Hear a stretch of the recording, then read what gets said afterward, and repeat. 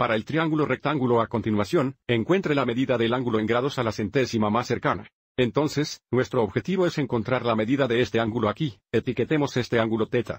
Y ahora, determinemos el lado opuesto, el lado adyacente y la hipotenusa en relación con el ángulo θ. Entonces, si este es el ángulo θ, entonces este lado aquí es el lado opuesto. Esa es una longitud desconocida. La hipotenusa siempre es opuesta al ángulo recto, y por lo tanto, la hipotenusa es este lado aquí con una longitud de 9 unidades. Y luego el lado adyacente al ángulo θ será el lado del ángulo θ que no es la hipotenusa, y por lo tanto, el lado adyacente al ángulo θ es este lado aquí, que tiene una longitud de 8 unidades. Ahora, dado que nuestro objetivo es encontrar la medida del ángulo θ, y se nos da la longitud del lado adyacente y la longitud de la hipotenusa, utilizaremos la función coseno para determinar la medida del ángulo θ, porque el coseno θ es igual a la razón de la longitud del lado adyacente a la longitud de la hipotenusa.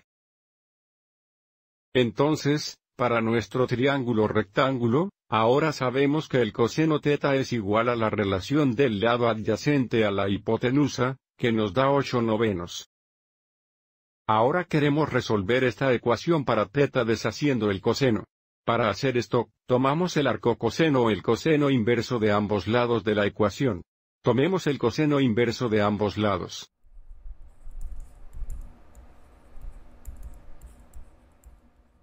Simplificando a la izquierda, el coseno inverso del coseno teta se simplifica a solo teta, porque el coseno inverso y el coseno se deshacen entre sí. Nos quedamos con θ es igual al coseno inverso de 8 novenos. Y ahora vamos a la calculadora para obtener nuestra aproximación decimal para el ángulo θ en grados a la centésima más cercana. Comenzamos asegurándonos de que la calculadora esté en modo de grado presionando la tecla de modo. Observe cómo se resalta el grado. Si el grado no estuviera resaltado, usaríamos las flechas para bajar al grado y luego presione Enter. Y ahora volvemos a la pantalla de inicio presionando el segundo modo para salir e ingresamos coseno inverso 8 novenos. Presionamos el segundo coseno para el coseno inverso, y luego 8 dividido por 9, cierra el paréntesis y entra. Observe cómo hay un 6 en el valor posicional de las milésimas, nuestro tercer lugar decimal, y por lo tanto redondeamos. Teta tiene aproximadamente 27.27 grados.